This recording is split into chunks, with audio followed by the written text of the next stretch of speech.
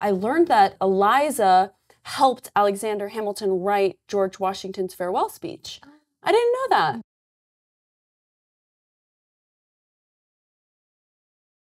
Welcome, everyone. My name is Christina Werther, and I'm a commissioner on the Citizens Clean Elections Commission.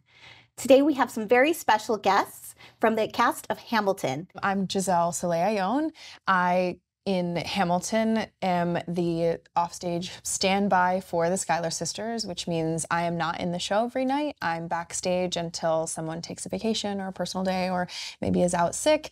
And so I cover Angelica, Eliza, and Peggy Maria, who are both played by the same person. And I understudy all three Schuyler sisters as well.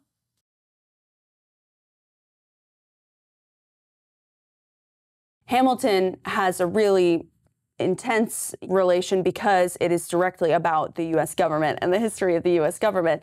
I think it's always going to be impactful and relevant, mm-hmm. which is the beautiful thing about it.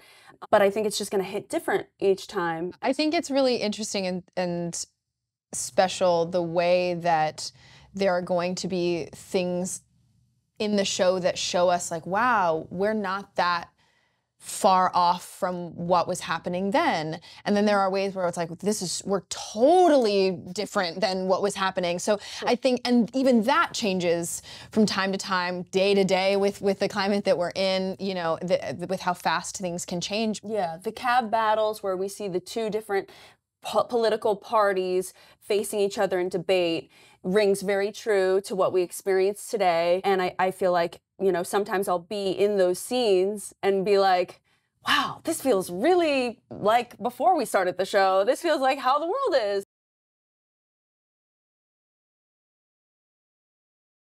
When we think about the Revolutionary War, we think about these old dudes with like wigs and like, you know, and I think it's really important to remember, and I think with Hamilton through the spirit of hip hop and contemporary dance styles that like this was the moment. This was happening for a lot of young people and it was relevant and it was active and it was important and exciting. So what do you think is I would say the most underappreciated aspect of Eliza's character? The portrait that you see of Eliza Hamilton when you Google her is like just kind of cheeky and like she's got this Marie Antoinette wig on and, and they describe her in the descriptions of it that she's got a little bit of humor in her eyes and a little bit of a smirk. And so I think that she was probably a fun time to be around. Mm-hmm. So I don't think I think it's a very dramatic role, but it doesn't have to be serious the whole time. And I think having some of that joy and humor gives her farther to fall when the serious mm-hmm. stuff starts happening. So for Angelica, for her character, um, how do you interpret sort of her, I guess, relationship with Hamilton? The way I interpret it is, uh, I really take the line, uh, I I know my sister like I know my own mind. You will never find anyone as as trusting or as kind. Um, and that she like would never do anything to hurt her sister. So there's history uh, as well in, in a lot of his letters. The letters that we have as prop letters on stage mm-hmm. are actual uh, replicas. replicas of Hamilton's oh, letters. So if I have a moment on stage where I get to read a letter, I'm typically reading the actual letter. yeah.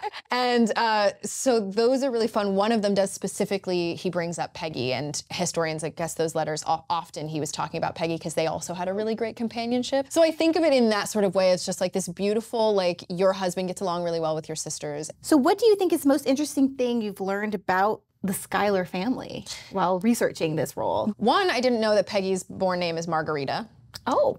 I didn't know that. Okay. That the Schuyler sisters actually, at least Angelica and Peggy, both married people that their father was not very happy with. They didn't think that they were quite suitable matches. And then also that both Angelica and Eliza had not eight children. They both named their er, firstborn after their father, Philip, and they both named a, a, child after each other. They both named a child after themselves. They mm-hmm. both named a child after Alexander, and nobody named anybody Margarita. I learned yeah. that Eliza helped Alexander Hamilton write George Washington's farewell speech.